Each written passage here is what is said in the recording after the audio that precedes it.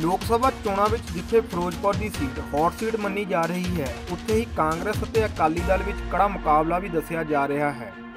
ਜਿਸ ਦੇ ਚੱਲਦਿਆਂ ਅਕਾਲੀ ਦਲ ਦੇ ਫਿਰੋਜ਼ਪੁਰ ਲੋਕ ਸਭਾ ਹਲਕੇ ਤੋਂ ਉਮੀਦਵਾਰ ਸੁਖਵੀਰ ਸਿੰਘ ਬਾਦਲ ਦਾ ਚੋਣ ਪ੍ਰਚਾਰ ਜ਼ੋਰਾਂ ਤੇ ਚੱਲ ਰਿਹਾ ਹੈ, ਜਿਸ ਵਿੱਚ ਉਹ ਲੋਕਾਂ ਨੂੰ ਕਈ ਲੁਭਾਵਨੇ ਲਾਲਚ ਵੀ ਦਿੰਦੇ ਨਜ਼ਰ ਆ ਰਹੇ ਹਨ।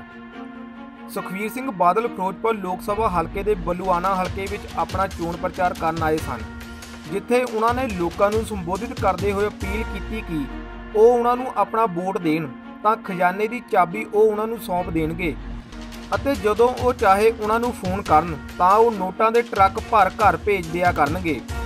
ਪਰ ਹੁਣ ਤਾਂ ਤੁਹਾਨੂੰ ਚਿੰਤਾ ਕਰਨ ਪਹਿਲੇ ਤਾਂ ਤੁਸੀਂ ਡੀਕਦੇ ਹੁੰਦੇ ਸੀ ਕਿ ਮੁੱਖ ਮੰਤਰੀ ਬਣਾਓਗੇ, ਕਿਸੇ ਹੋਰ ਹਲਕੇ ਦਾ ਹੁੰਦਾ ਨਹੀਂ ਹੁੰਦਾ ਤੁਹਾਡੇ ਹਲਕੇ ਦਾ ਹੀ ਹੋਣਾ, ਤੁਹਾਨੂੰ ਚਿੰਤਾ ਕਰਨ ਦੀ ਖਜ਼ਾਨੇ